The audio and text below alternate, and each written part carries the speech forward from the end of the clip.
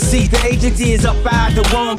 Wraps out of the cliff like he's already won. And he wants to knock the slug so he can stop the recovery. But gets his head stolen. Millie that's an unlucky blunder.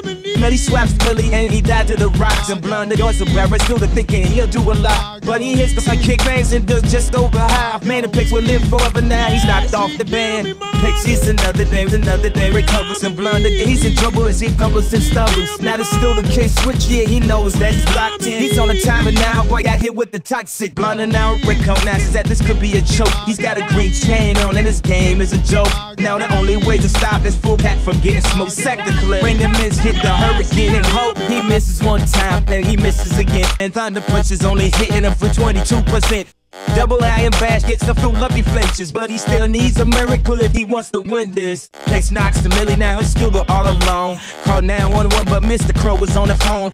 Can't believe the pics got the whole team shimmering, and that's the story of the greatest fucking battle ever thrown.